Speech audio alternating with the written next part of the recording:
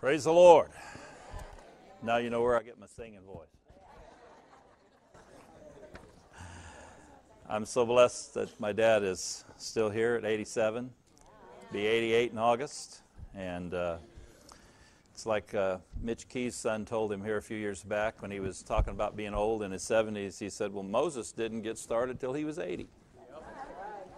So that's right. Praise God. I mean, I'm going to have to wait that long for my inheritance? I better watch it. I'm going to get in trouble this morning. Hey, let's just stand up for another minute. I know you're comfy and all that, but stretch out one more time. Praise God. Lord, thank you. What, as we prayed earlier, Lord, we know that we need your help. And Holy Spirit, we give you absolute dominion and control over our minds, our hearts, our bodies we yield to you today. And we come to sit like Mary of old. We come to sit at Jesus' feet to receive that part which will not be taken from us. Lord, impart, pour into us today that which we need to hear and know from you. And we thank you for it in Jesus' name. Amen. Well, find a dad and tell him Happy Father's Day before you're seated.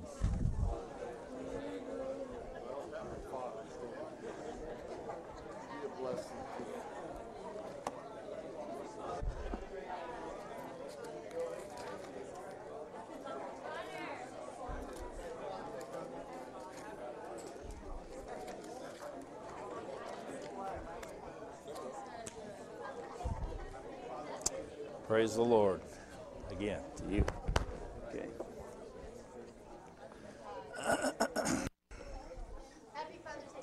Thank you. Same to you, or not same to you. same to my dad. yeah, same to your dad. Tell him for me. Do we have uh, do we have any of those little pen knives left over, or did we give them all out?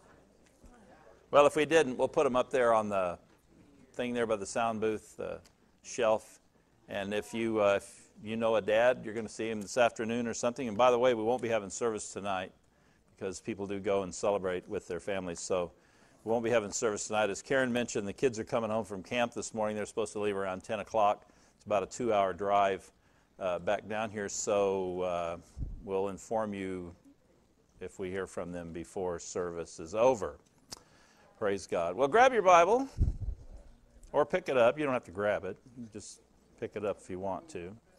And turn with me over to Genesis chapter 3. Genesis chapter 3. I, am normally not a person who, just because we're on a certain holiday or whatever, that I try to speak on that holiday. I like to ask the Holy Spirit what He wants to talk about. And uh, the thing about doing that is a lot of times He doesn't let you in on it until you get to it. And. Uh, just to be on, that's right. You don't want me messing it up, that's for sure. We don't need to hear from me, we want to hear from him. And that's kind of the way this has been. There's been some things that have, Genesis chapter 3, there's been some things that, thoughts that have been in my mind, I believe, come from him, but uh, sometimes it's kind of like a tornado in there. You ever feel like there's a tornado in your head? They just don't have, they aren't put together, but we're trusting him to put them all together. Amen? But I want to talk to you uh, about the Father's voice. Everybody say the Father's voice. You know, the devil does not want you to look at God as your Father.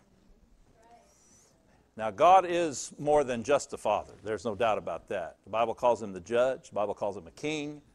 Uh, he has, I forget how many names uh, that uh, describe him, and each name is a description of another part of who he is and how he is.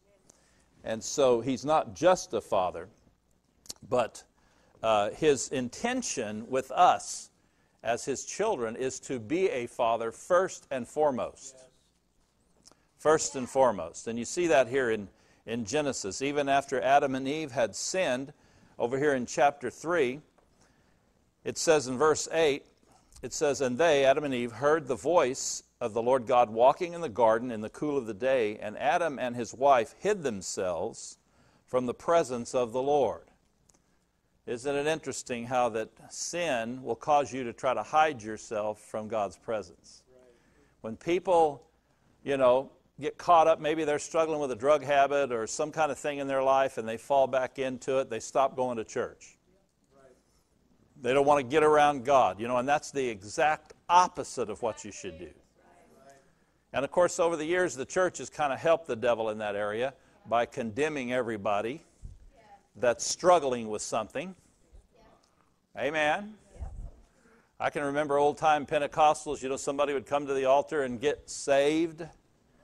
And uh, if they weren't just this mature Christian by Tuesday, everybody was, well, I knew they didn't get anything. Well, you need to let God rewind the tape for you a few years. Back to when you first got saved. You weren't exactly the uh, shining example of holiness yourself. Amen?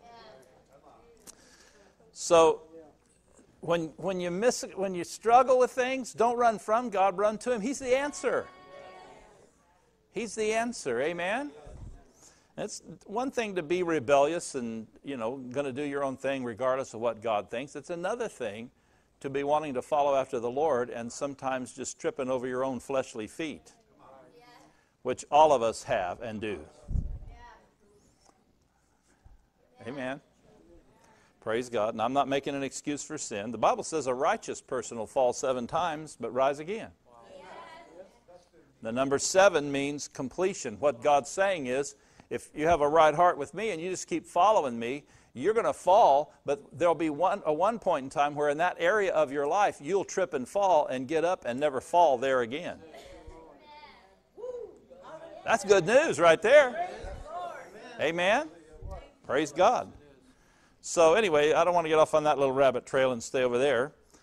It says, verse 8, they heard the voice of the Lord God walking in the garden of the cool of the day. The, the voice wasn't walking, God was walking. Amen. The Lord God walking in the garden in the cool of the day, but they heard his voice, and Adam and his wife hid themselves from the presence of the Lord among the trees of the garden. Now look, verse 9. And the Lord God called unto Adam. He called unto Adam. He called unto Adam and said unto him, Where are you? Where are you? What was God wanting? He was wanting to fellowship. He was wanting to hang out with Adam. He was wanting to be with Adam and Eve. You know why it's quiet? Because sometimes the devil paints a picture in our mind, or we do it ourselves, or some religious person does it for us, that God really, you know, God hangs around us because He has to, not because He wants to. Come on, are you here? But I got news for you. God loves you. His love for you is greater than any failure, shortcoming. Go down the list. His love trumps all of that. Now, He's made us a free moral agent, so we make choices, and when we make those choices, even though He doesn't agree with that or want uh, that to happen, He has to allow us to go our own way. I'm saved. I'm born again. I'm a child of God. I've studied the Word for years. I, I know a little bit about walking with God and so forth. Uh, but I could choose right now to go out here and go try to rob a bank. Probably be a good idea if I waited till they opened up on Monday, but.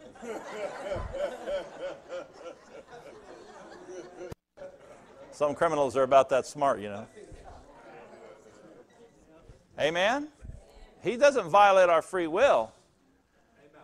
But He loves us as children. He created us because He has a father's heart. He wants to have a family.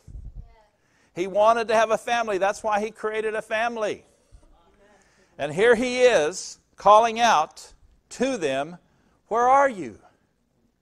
I want to be with you.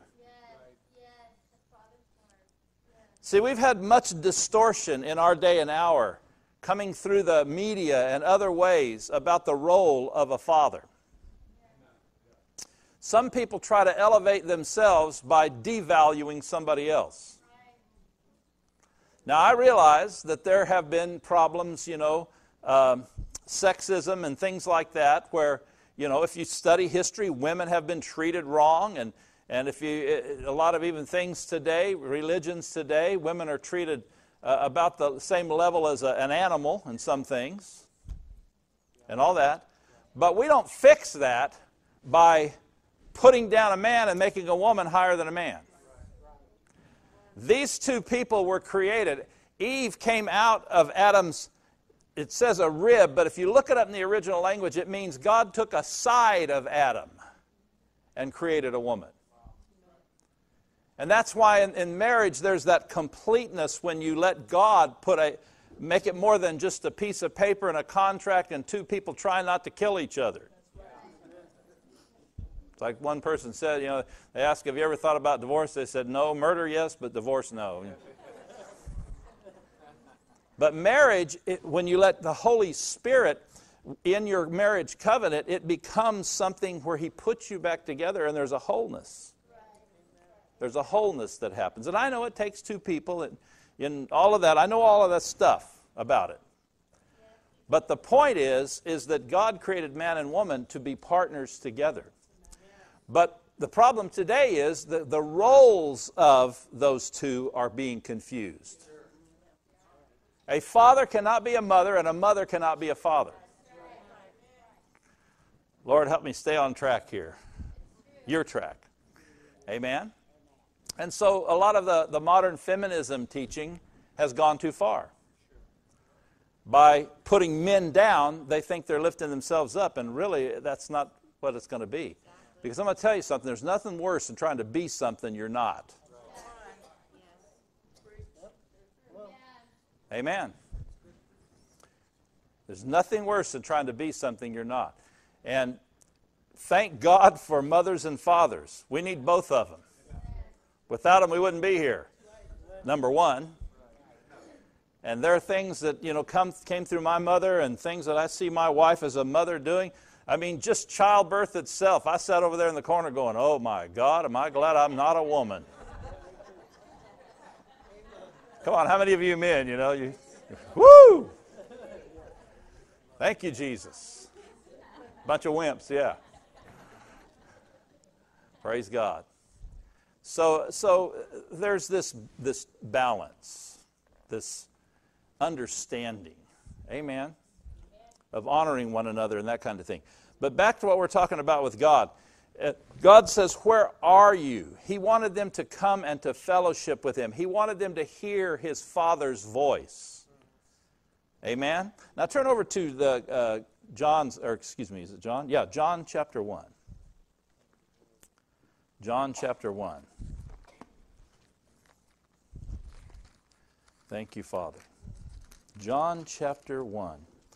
What I'm sharing with you today, when I began to understand this in my Christian life, and I'd been a Christian many years, but my perception of God was always the high ruling potentate king up on a throne and angry at sin, therefore angry at me. Come on. And to be honest, I got saved because I was scared. Did you ever get scared? I got scared of hell. I was scared to not be a Christian. And the Bible says some save with fear, jerking their feet out of the fire. Maybe I was just one of those knotheads that you had to get, I had to get saved with fear. And, but the problem was, as long as I understood that, and I'm not blaming anybody, I mean, sometimes a lot of the teaching and preaching back in those days, there was more emphasis on on uh, sin than there was on righteousness.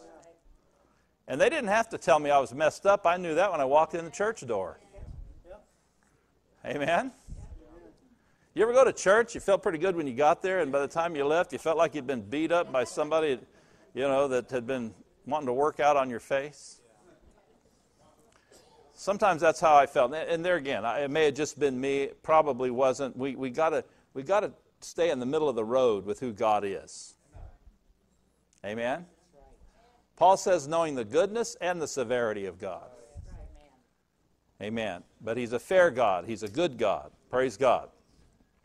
And so, uh, you know, I, I, I got saved because of that, but I, I had a hard time being a Christian because I was afraid of God.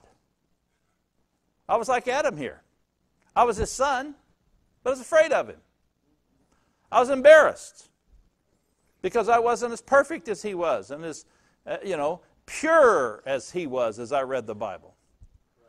I felt guilt. I felt condemnation. I, uh, you know, I, would go out and, uh, you know, I was a kid and I'd, you know, do kid stuff. And then, of course, the enemy's right there to tell you how imperfect you are if you don't already know it. Amen. And then I'd read scriptures like, Be ye holy as I am holy. And then the one there, you've, you've heard me talk about it before, the one where Abraham, he, God spoke to Abraham and says, Walk before me and be perfect. And I thought, well, that's, that's it for me. I'm done. But I found out that word perfect in the original Hebrew means, means sincere. It's about your heart. It's not about your humanity and the, the mistakes you make. Now, there again, understand, I'm not saying you just go do whatever you want to do and God's just this big, ignorant teddy bear in the sky that overlooks everything about everybody. He does not. He does not. He, and He is a righteous judge.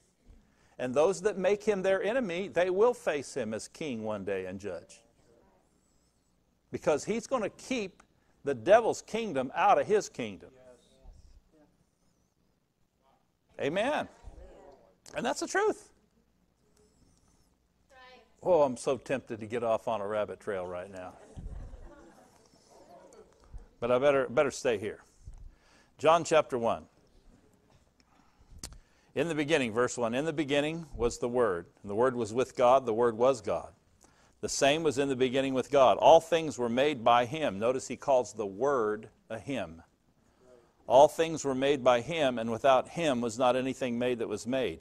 In him was life, and the life was the light of men. And the light shines in darkness, and the darkness comprehends it not.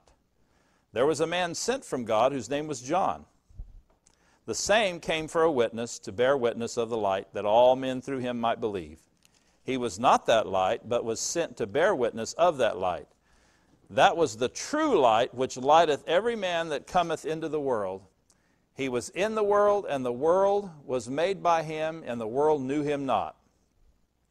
He came unto his own, and his own received him not. But now here's what I, the verse I was wanting to get to, verse 12. But as many as received him, to him, to them gave he power to become the sons of God if you're born again in here, if you've received Jesus, say, I'm a son of God. The sons of God, even to them that believe on his name. Actually, this word sons in the original Greek means children. God has sons and daughters. I mean, in one sense of the word, they're all sons, but he has sons and daughters. Children of God. Now look what it says, verse 12, to as many as received him. See, how do you get how do you get in God's family? You have to receive Jesus into your life. What does that mean? That means you open up the door of your heart and you say, Lord, I need you. I'm a sinner. I need a Savior. I need someone to save me from my, my sin nature. I need to be out of the devil's kingdom and out of his family and into your kingdom and into your family. Jesus looked at the religious people of that day, a bunch of them, and he said, You are of your father, the devil. There are people whose spiritual father is the devil because they have the same nature spiritually he has. And we all had that before we received Christ. Over in Mark chapter 16, where it talks about the, the Great Commission, it says, Go into all the world and preach the gospel to every creature. And those that believe that, that what you preach and are baptized will be saved. Those that don't will be damned. And you look up the word damned in the original Greek, and it means left in their present condition. Their condition is separated from God. If you've never opened your heart and, t- and admitted, been humble enough to admit you need Jesus as your Savior, and invited Him to come in and to give Him your life, to cause you to be born from above or born by the Spirit of God, born again is another way of saying it, then you are on your way to hell. Not because God's mad at you and He's going to crumple you up and throw you there someday. It's because that's your home. That's your Father. You're in His kingdom. And when you die physically on this earth, then your spirit man, the real you living in that tent I'm looking at today, will go home to be with whoever your God is. Don't shout me down because I'm preaching real good. Hallelujah. Amen. That's the truth. People don't like to hear that truth today. They want to say things like, We're all the children of God. No. We've all been created by God, but the scriptures make a very distinct separation. All religions serve the same God. No, they don't. If that's true, I got to throw my Bible away. It's lying to me. Jesus said, you know, people say, oh, there's many pathways to God. Well, there may be many pathways to God, but there's only one door into the kingdom. Jesus said, I am the way, the truth, and the life. No man comes to the Father but by and through me. He said, I am the door to the sheepfold. That's why he's so controversial. That's why people have, who have that demonic spirit in them hate you and me because the spirit that's in them despises the spirit that's working in us. We're not better than them. We didn't, you know, we're not so much superior and earn, earn something or somehow with our uh, own human works attain something. We just discovered one day we were in trouble and we had enough sense to ask God to get us out of trouble. Come on, are you here? Amen. Praise God. You know, I don't argue with people if they want to debate all of that, I just tell them, you know, it's obvious you've never met Jesus. What do you mean met him? they want to argue about the book, you know, or something else. The book won't mean anything to you until you meet him. Because, see, this book was authored by him through the Holy Spirit, and until you meet him and know him, he's, he's got to teach you the book. Are you here? Amen. Praise God. So Jesus is our Lord and Savior because of his goodness. And it was through him here in verse 12 it says that we were given the power to become the children of God. Well, you mean to tell me, Pastor, all those people out there that believe something else, that God's just going to uh, just turn his back on them and let them all go to hell? No. That's why he sent us here. That's why he put the light of the world in us. See, the scriptures say over in Romans 1 there will be no human being that's ever lived on the face of the earth that will be able to stand on Judgment Day before the, the throne of God and have an excuse. Because it says there in Romans 1 even the very creation is telling us that He exists. And finally, uh, finally, science is even starting to figure it out. There's been some amazing discoveries in science uh, in the last several years that even people who have been lifelong atheists and have, you know, uh, just gone that whole no God route are starting to admit there has to be a designer of all of this. Right. That it couldn't just happen because something went boom one day. I do believe in the Big Bang. God spoke and it went kaboom. Amen. Praise God. So we're living in a day and an hour. God's not, you know, turning his back on people. And see, a lot of people that want to, want to do that, that routine there, they really don't want to know God. They really don't. It's hard to believe, but there are people that really don't want to know him. See, the Bible says, Jesus himself said it, those that seek, I will enable them to find.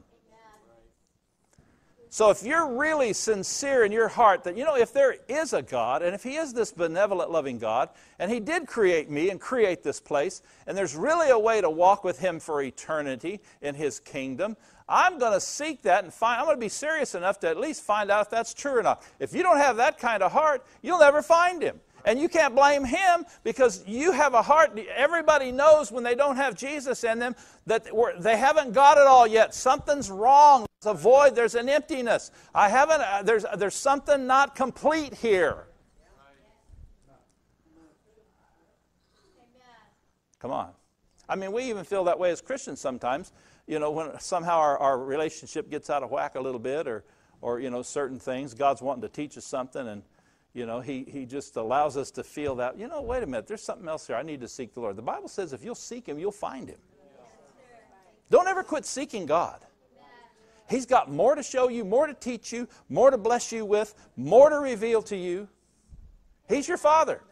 Now, if you study the role of Father, in the Bible, you'll find that a father, primarily a father's position, is that of teacher. Everybody say teacher. He's responsible to be a leader teacher in his family. Now, that doesn't mean his wife can't teach. Matter of fact, wives and mothers teach, and they, they have their own flow and move and uh, of doing that and so forth and so on. As a matter of fact, I've had my wife teach me a few things. Come on, thank you, Jesus. Thank God. I'm willing to hear from anyone. I don't want to be a fool. I don't want to be a pride filled fool. My head's already big enough. I have to wear a big enough hat on this head. I don't want it any bigger than it is. Can you say amen? I want to know the truth. I don't want to walk around spouting off a bunch of ignorance because I'm full of pride. The Bible says that pride is a blinder, it's really a false light. It's really a false light. And the Bible says that if you stay in pride long enough, you're going to fall off a cliff. So, humility. Humility is not becoming a rug so God can just walk over the top of you. Humility, actually, that word means in the Greek to find your place under His headship, under His authority as your Father, your shepherd, your God, your Lord, your King. And you better be glad He is and you're not. Because we weren't created to be gods, and when we try to do what Adam and Eve did and play God, it doesn't work. Moving right along since that went over real big. Amen? Hallelujah. I'm having fun today. I don't care whether you are or not. Come on, this is fun. I do care. But it is what it is. Let the chips fall where they may. Amen? We need to hear some things sometimes. So, God is a father, He loves us. He gave us the ability to become His sons and His daughters, His children. Hallelujah. Now, a father, you know, like I got married at the ripe old age of 19 years old. Come on. Karen was 18. She's 10 months younger than I am. So uh, every time I have a birthday, I say to her, Yeah, I remember when I was that age.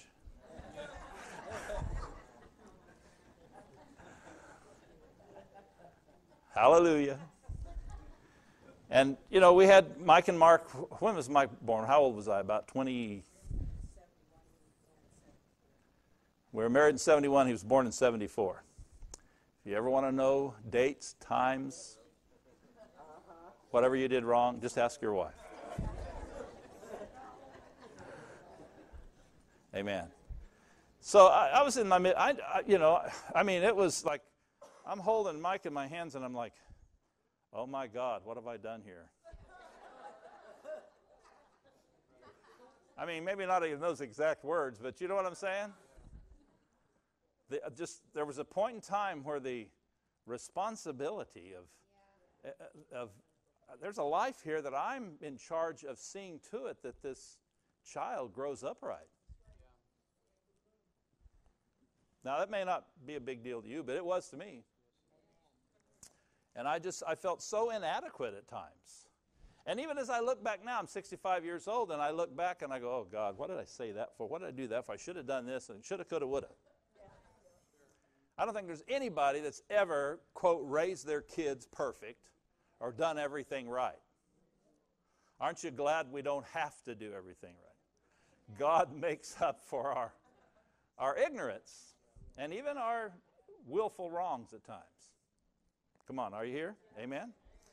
And so, you know, th- that role of father teacher, I understood, and I think many times that's what causes men to kind of check out because they, they feel the, that knowing or they have that witness, I guess I could say, in, my, in, in their heart that this is who I'm to be, and they don't know how to do that, or maybe they didn't have a dad that taught them anything about that. And so it's real easy to just, you know, I found out something about men when they get confronted with a situation, uh, you know, a threat or an insurmountable situation, they do one of two things. They either beat it up or run from it.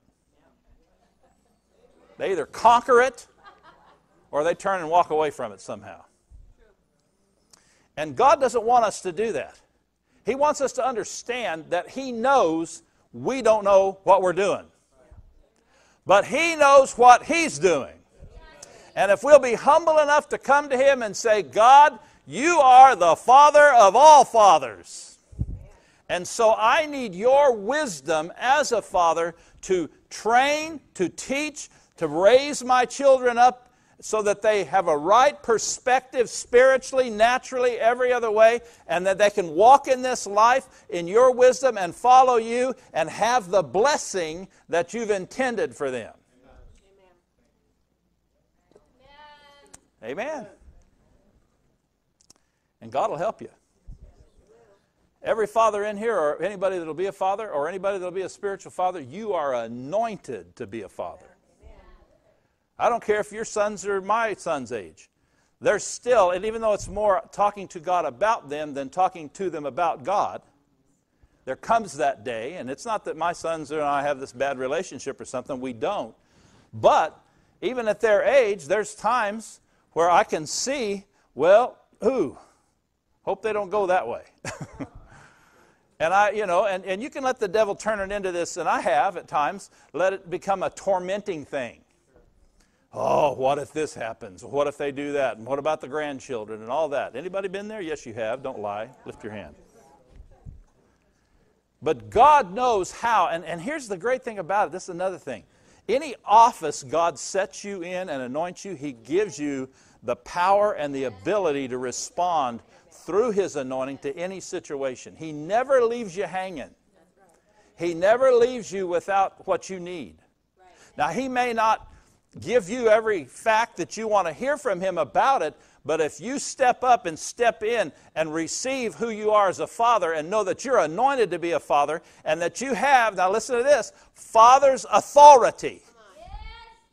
I have the right to protect my seed, my children, in the spirit. I have the right to tell the devil, take your hands off. People don't do that enough in the body of Christ. We've been deceived into trying to get God to do the cross again. Oh, God, help. Do something about it. He I already did. I broke the devil's power over your life and their life. The cross was enough. Jesus Uh, Jesus went through the cross and is seated on the throne. A lot of people have Jesus still hanging on the cross. Now, we always need to be mindful of the cross. We always need to understand it's the blood that was shed there, it was the life of God that was released at the cross. In His brokenness, our wholeness came. Amen? At the cross. But He didn't stay on the cross. He went up and is seated on the throne of glory, ruling and reigning over all principality, power, might, and dominion, and every name that's named. He rose from the dead and told his disciples, All authority, all right and might uh, in heaven and in earth is mine now. And guess what? I'm giving it to you. Now you go. You go and do this. You go and do that. Amen? Hallelujah.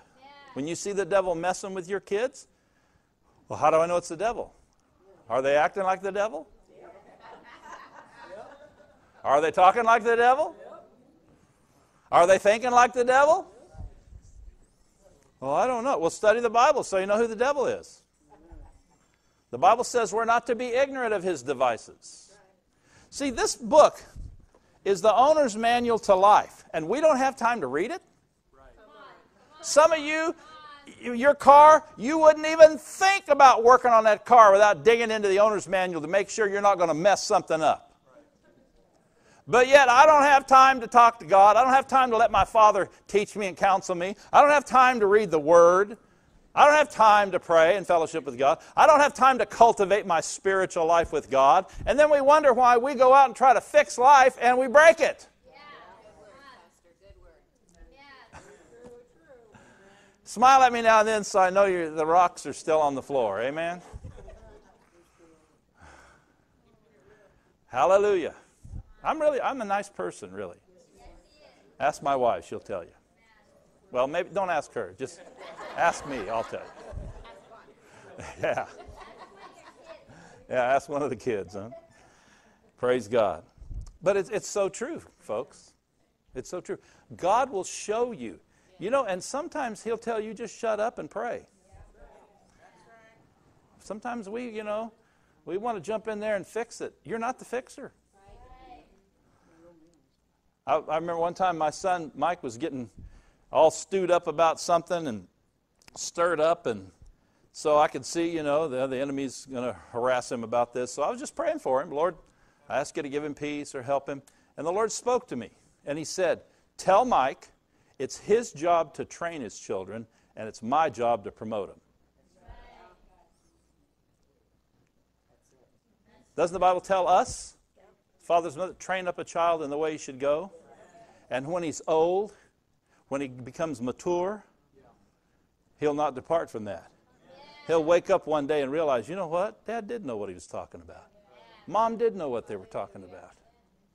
And then if we train them right, they'll develop that relationship with God themselves, and that the, the father can teach them to be a father or a mother. You, say, Oh, I, I need that in my life. I didn't have that with my parents. Today's a new day. You can start today. You can move forward today. Amen? Hallelujah. Praise God. Turn over to Proverbs chapter 4. Proverbs chapter 4. Hallelujah. The, uh, the scriptures tell us as parents to raise our children in the nurture and the admonition of the Lord. That's something else that's gotten messed up in our society these days. Admonition, nurture. We know what nurture is. Nurture is encouragement. Nurture is hugs. Nurture is saying, hey, don't let the devil beat you up over this. It's going to be all right. You're going to come out of this and you can make it. And it's true because with God, you can't ever not make it. All things are possible to those that believe what? That all things are possible with God. You've always got a bright future. If you're a Christian, you've always got a bright future. The Bible says in Paul's writings, godliness, what does that mean? That means walking with God, listening to God, letting God be who He needs to be in your life. Godliness is profitable. Now, for those of you that are wanting to make a profit, here you go. Godliness is profitable, it says, having the promise of the life that now is and that which is to come in eternity. Oh, it's hard to be a Christian. Oh, no, it's not. It's profitable. The way of the transgressor is hard. Sin has pleasure for a season. You think it's hard being a Christian because you got to discipline your flesh a little bit and tell yourself no and keep going when you don't want to go and all that kind of thing. Amen. And get in the tape ministry, put duct tape over your mouth so you don't say things. Now, people don't even know what tapes are nowadays. That's that's ancient history now. Ask Karen about it after the service, she'll tell you about it. That's, but we, we think that's hard. That's not hard. Let me tell you what's hard having the devil dominate your life and destroy, kill, steal, and destroy in your family. That's what's hard. That's what's hard. So don't buy that nonsense from the enemy. And don't give me that nonsense either. It's hard being a No, it ain't. Not compared to what's waiting for you on the other, other side of the mountain there, it's not. Come on. Hello. So the Bible tells us as fathers and mothers, raise your children up in the nurture and the admonition. That's the balance, see. Nowadays it's, oh no, don't tell Johnny no. Matter of fact, ask him what he is sexually. Are you a boy or a girl? Look down your drawers, you can figure it out. I'm sorry, but that's the truth. Well, you're just making fun of people that are. No, I'm not.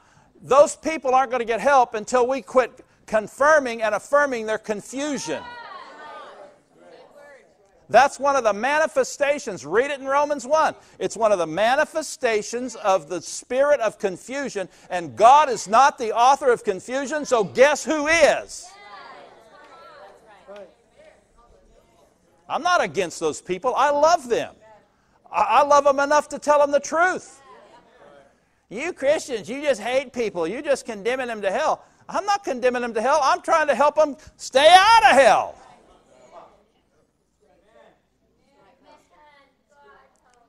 Amen. And, I, and I'm not, you know, I'm not rude to people. I don't get in people's faces and all that kind of thing. But the truth is the truth. Well, I, I want my child to grow up and just be who he is. Oh, no, you don't. No, you don't. Not who he is when he's that little, pulling all the stuff out of the cabinets, you know, choking the cat to death and that kind of thing. There again, the Bible says foolishness is bound up in the spirit of a child. Why? He's born uh, with sin. He's born, he, he, he's not conscious of sin yet. He doesn't understand that yet, so God doesn't hold him accountable for it yet. But that very nature that's in him, did you, did you find out? I mean, they didn't even have to be two years old before they're punching some other kid in the nose in the nursery and taking their toy away from him.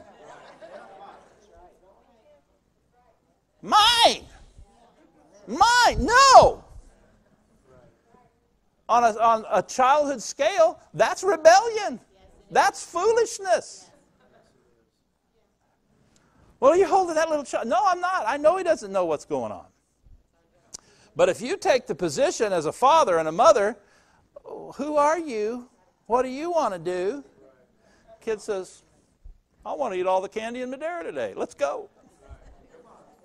I want 14 ice creams. When you try to make me go to bed when I, I don't want to go to bed, I want to be able to hit you and punch on you and have you go, Don't do that. No. Time out.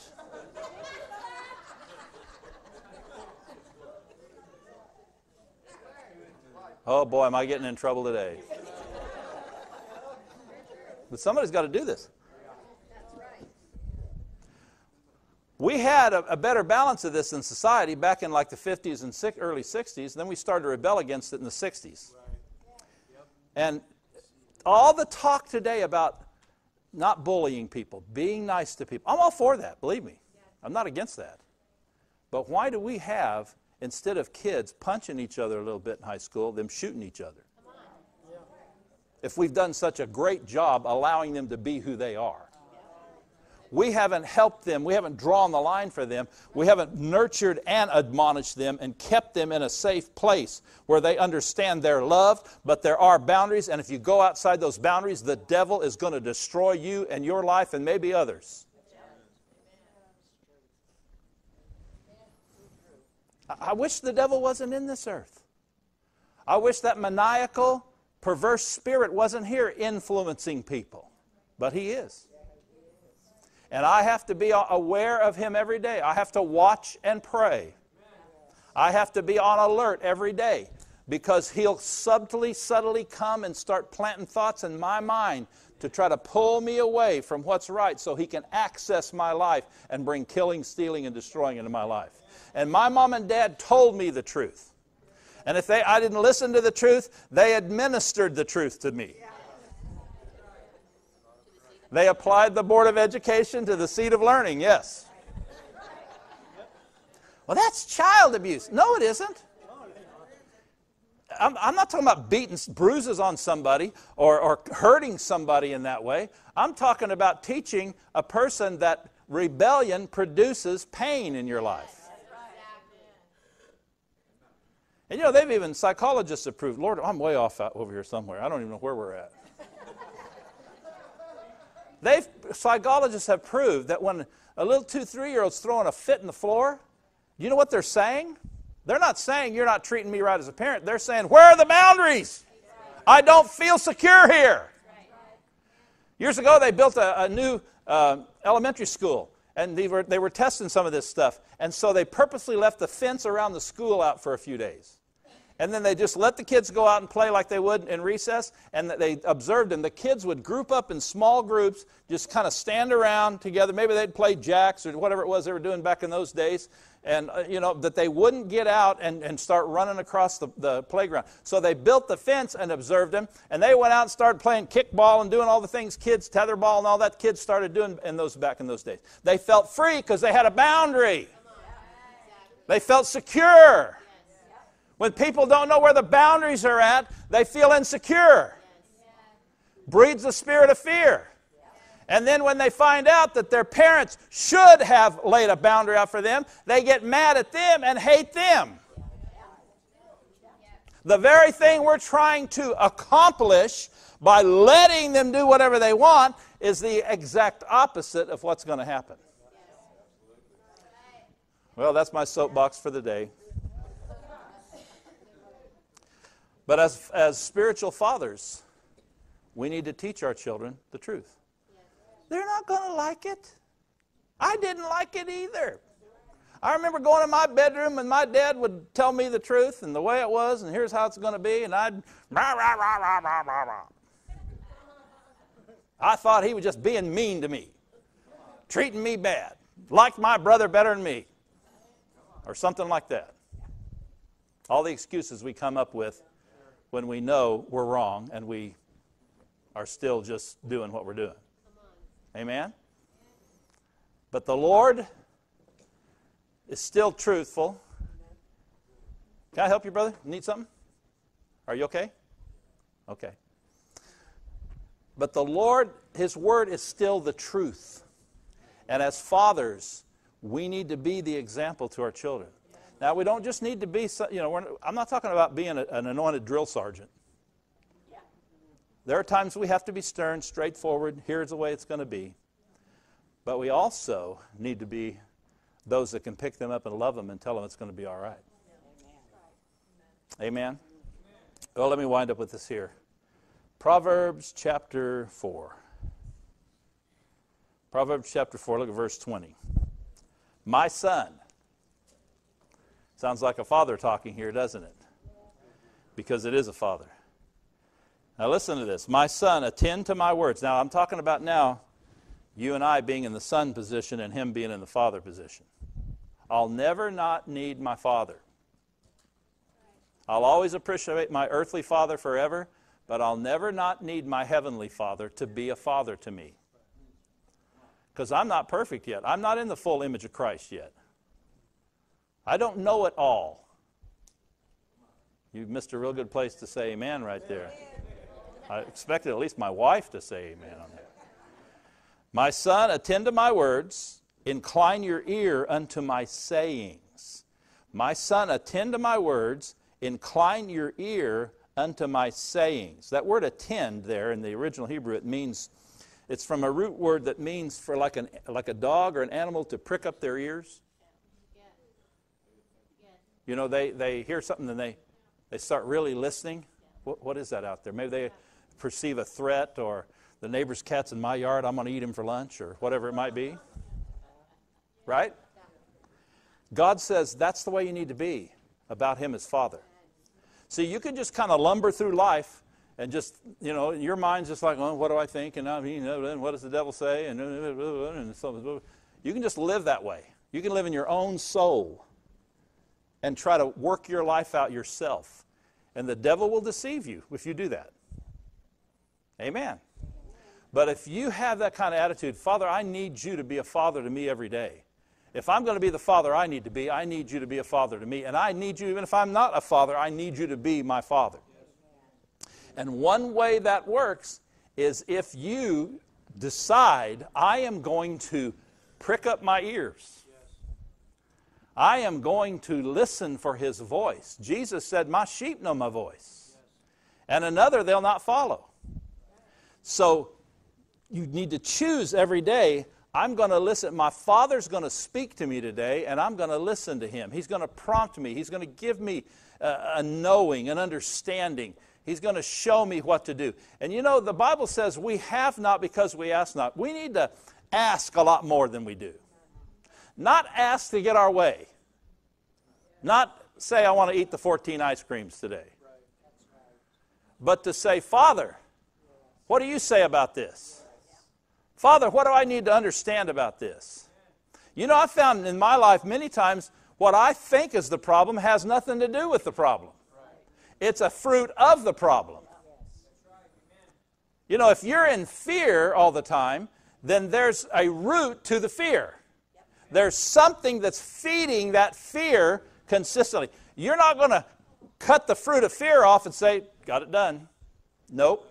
It'll grow again. You got to find out what the root is. And that's only going to come as God reveals to you because a root is under the surface. You can't see it with your natural observation. You have to go to God and say, Show me what's the bottom line here. What's the root? And He will. He will. There's been times when I've went to the Lord and, you know, what about that? He said, well, that's not the problem. That's the fruit of the problem. And sometimes it has to do with me, the way I'm thinking and the way I'm talking. The way I'm talking. I remember one time I'd been believing God for a healing in an area, and I've, you know, over time I'm frustrated. I know nobody in here has ever had this, but I get frustrated, and I, I said, Lord, what's, how come this hasn't manifest and you know i'm kind of you know complaining to god a little bit. And i'm waiting for him to answer me. And he answered me with a scripture. And the scripture was if you had faith as a seed you might say unto this sycamine tree. If you had faith as a seed you might say unto this sycamine. What was he telling me? He was telling me plant your seed plant your seed keep watering your seed and your seed will produce. That's right. That's it. That's it. You can look at me, it's okay. Not me, but you know what I mean. Plant your seed, water your seed, the seed will grow. Stay with the seed. Come on. Now, the thing about planting a faith seed is when the, when the tree starts growing up, and starts branching out. How many of you know Jesus is the seed, He's the trunk, and He comes up, the branches start growing. You and I are a part of the branch. When the branch grows out, the branch begins to produce blossoms, it begins to you know, flourish, it begins to get into the process of producing the fruit. But there's something that has to happen before that fruit comes all the way to fruition. It's called pruning. Because you and I, as branches, sometimes we start producing things with the fruit of God that's not just the fruit of God. It's like the wheat and the tares in the field. Jesus says we got to wait here for a moment in time of harvest because if we try to pull the tares out now, it'll pull the wheat up with it. But once they come to harvest time, I'm going to go in and I'm going to jerk those tares out and burn them, and then we're going to bring forth the fruit and the wheat and put it in the barn, and the blessing will be there. Keep walking with God. Keep watering your seed. Keep believing Him for what you are believing Him for. But when you get to that place where He says, Well, okay, we're finally at that point where we're going to see some fruit here. But this fruit over here, we don't want that. As a matter of fact, I can't produce what I want on your branch and produce that too.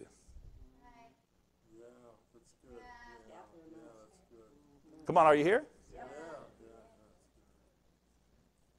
My wife was telling me, and I know she won't mind me saying this. I think I've already said it publicly anyway. So if I was going to get in trouble, I already, already got in trouble, I guess. She was saying how the Lord dealt with her about something, and like that, and He was just pruning some things in her life. We all get pruned. And he, after he, she went through the process with him, he said, "You just added ten years to your own life." One of the fruits of God is long, with long life will I satisfy you, and show you my salvation. I remember many years ago when I first got with God and answered the call and all this, I was driving out to a man's house that I was working with, and this man was a Christian man. He, he uh, had a family and was in the church I was in and all this kind of thing.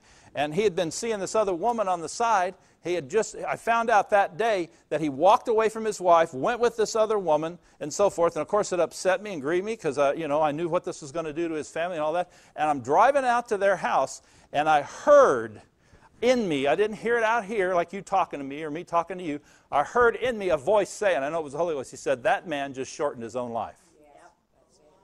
He didn't let God prune his tree of whatever that was that caused him to do that.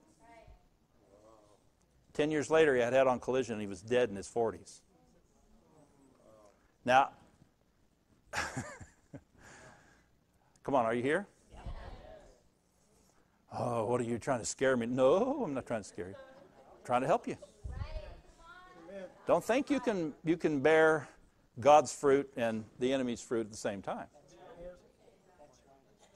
It's not about God getting you. Remember the old stupid, well, some of you are not old enough to remember that song. Dumb song, God's going to get you for that. Remember that one, Steve? You're kind of old like me, aren't you? Do You remember that? It ain't about God getting you, it's about you. it's not that old yet. 11 years difference. Thanks for pointing that out, Steve. I appreciate that.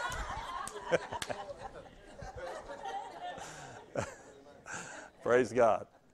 It ain't about God getting anybody. It's about you letting the devil in the door and him growing something in your life that's a poison fruit that's going to cause problems. We want to blame all this stuff on the devil and on God. God's saying, listen to me. Walk with me. Let me be your father. Like it says here, it says, Attend to my words, incline your ear unto my sayings. Let them not depart from your eyes. Verse 21. Keep them in the midst of your heart. What I'm saying to you, what I'm showing you out of my word as you read it, embrace that, hang on to it, and stay with it. And when you, as a human, get your nose out of joint over something and you start doing things in the flesh and giving access to the devil, catch yourself and say, wait a minute. My father is chastening me, child training me, correcting me. That's what the word means. And I receive it because I need it. May I have another, please?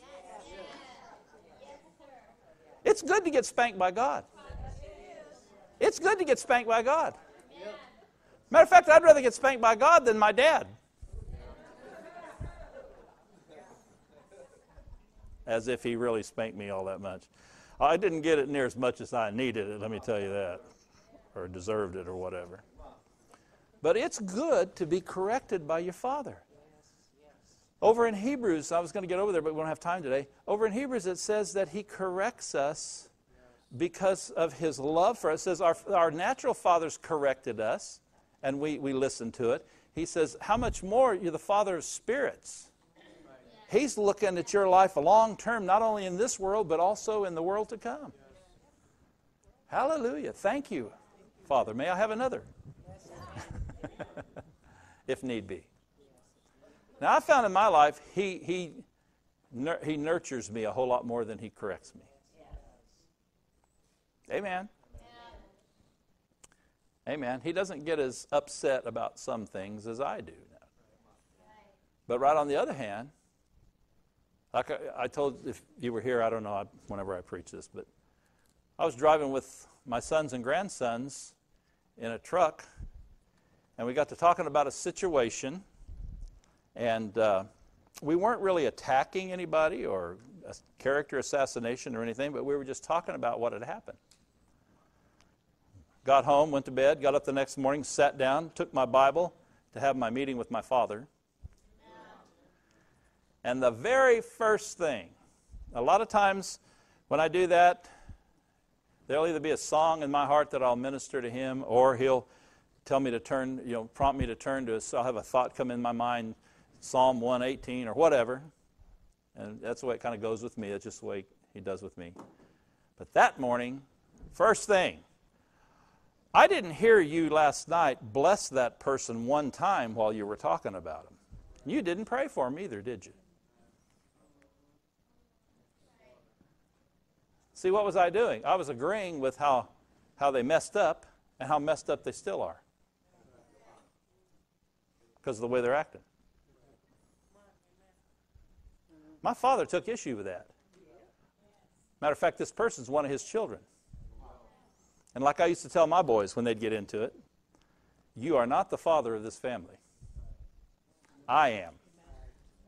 So if you got a problem with him, you come and talk to me, and Dad will help you straighten it out. Now, they didn't listen to that all the time. Especially Michael, he was sneaky. He knew how to communicate without words, body language. And Mark would get mad and buy into it, and usually throw something at him, and then Mark would get in trouble.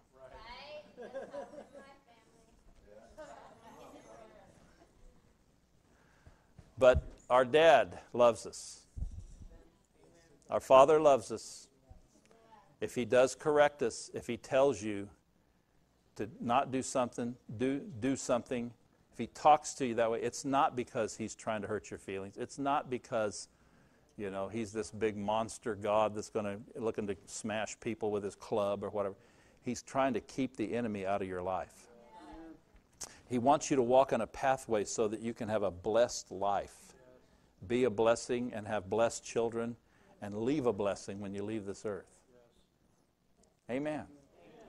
So decide, I'm going to listen to my Father's voice. I'm going to attend unto His words. As I read the Bible and the Holy Spirit speaks, the Father through the Spirit of God speaks to me and reveals the Word to me, I'm receiving that. If I don't understand it, I'm going to ask Dad to explain it to me. Just like you might not know how to fix your bike when you were little. Dad, how do I do that?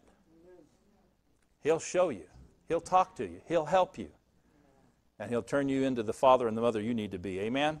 Amen. Let's pray. Father, thank you for your word today. We're so thankful that we have the security of knowing you as our Father. God, forgive us for thinking we could do life on our own without you.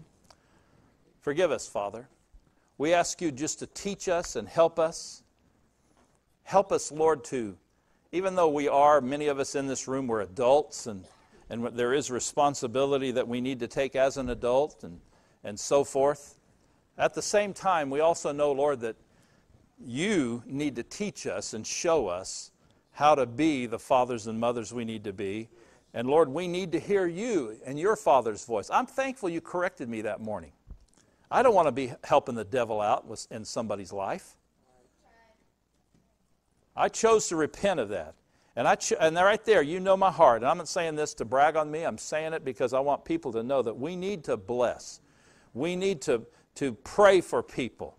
Pray for the fullness of God's plan to come. Just because they've messed up up to this point doesn't mean they're going to stay messed up the rest of their life. Lord, help us. You told us even to bless our enemies.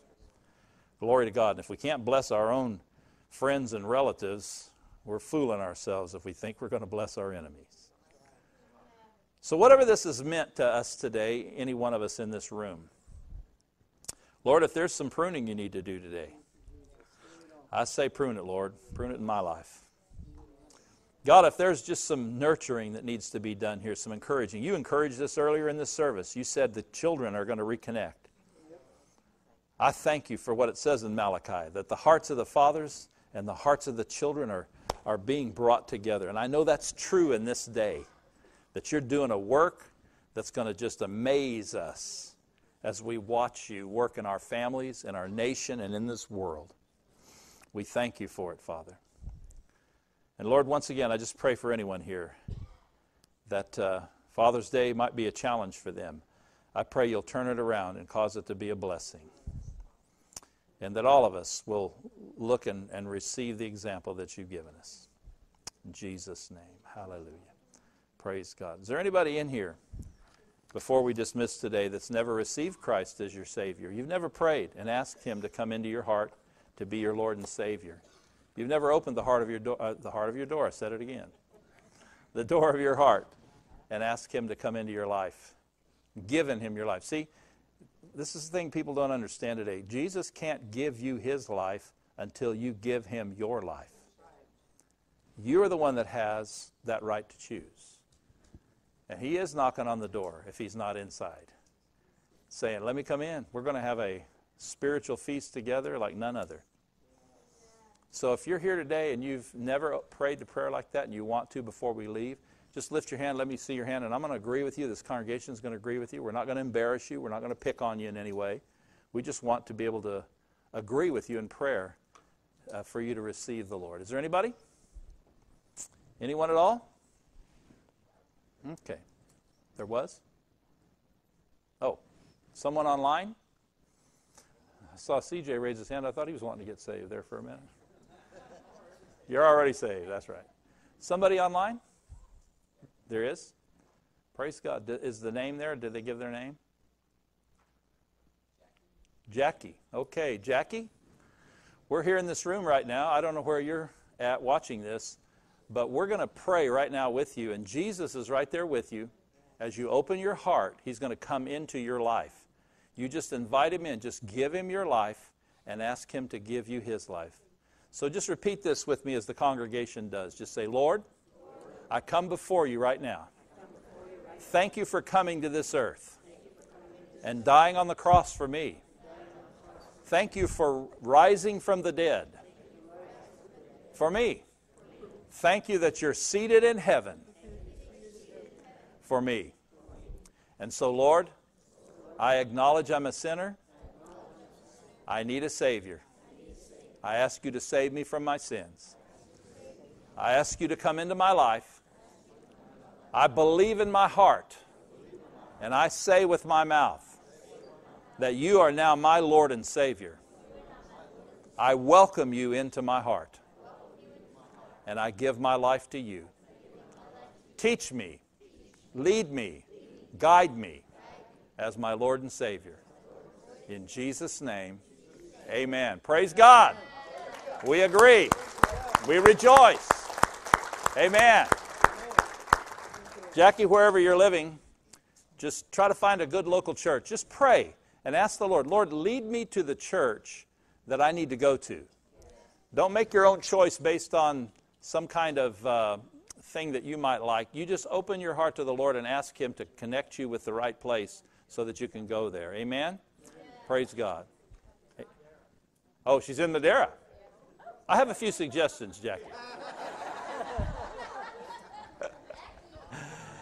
no, you just you do what the Lord tells you to do. Of course, you're welcome to come and, and visit here and see if this is where God wants you to be. But uh, we rejoice with you, Jackie. Praise God. Amen. Amen. This place is a hospital. It's where people get healed and well. Let's stand. Praise the Lord. Karen just gave me a note saying that the camp kids will be back here around right around noon. So if you want to hang around for 20 minutes or so, your kids will be back here dirty and exhausted. Praise the Lord. Thank you, Jesus. If you, uh, if you need healing today, physical healing, just lift your hand up and hold it up high. Leave it up there in the sky. Hold it up for a minute. Look around, guys. Look around you. If you see somebody with their hand up, maybe they're in pain right now or having problems, just go to them and lay your hand on their shoulder. Come on, those of you that believe in laying on of hands, go find somebody. Back in the back. Praise God. Father, we lay hands on the sick right now in the name of Jesus. We release the healing virtue of God. We release the power of God. I command any foul spiritual interference, any demonic interference to go now in Jesus' name. I command you to loose the people of God in Jesus' name. And I command pain to go. We agree, all of us in this room. We command pain to go. We command healing to flow. We command that life. There's the anointing of God right there. The basitoro basata. Yes, the glory. The glory of God. the glory of God coming into your being right now. Whether you feel anything or not, it's flowing into you right now. Receive it. Receive it in Jesus' name. And I command that problem that's been a problem for years. I say you stop today in Jesus' name. And I say that that's over with. Lord, I thank you for complete healing and deliverance in your goodness. You're a good father. You heal your children. In Jesus' name. Amen. Amen. Amen. Hallelujah. Well, have a great afternoon.